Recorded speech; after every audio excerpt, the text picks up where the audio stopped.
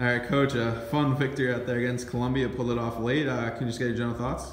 Um, just really happy for these guys, and I thought that they to see them come from where they were yesterday to the walkthrough today, and just see them focus in and and work with the game plan that we put in place against a very good team in Columbia. Just shows a lot of growth in these young women. And we have a lot of young kids out there, a lot of young people that don't have a ton of game experience. So just to see them mature and just see us get over that hump and, and put everything together was just really exciting. I'm just really proud of them.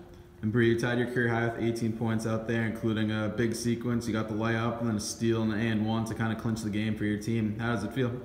Feels pretty good. Um, came together tonight, uh, followed our game plan, played some pretty good defense. Um, like Coach had said, they're, they're a pretty good uh, offensive team, so it feels good to just kind of pull out a win against a really good team. There's times where Columbia kind of battled back and made it a close game, but you were out there. Did you see yourself as a calming presence for the, this young team? Yeah, I mean, uh, I think we all know basketball is a, game of runs, and I, I was expecting them to, to make a, a little bit of a run, but it was key for us to stay composed. So I just felt like me being out there, you don't you don't get rattled in these situations. You kind of just take it possession by possession, and, and you fight, and and you you just kind of stay solid throughout the, the end of the five minutes.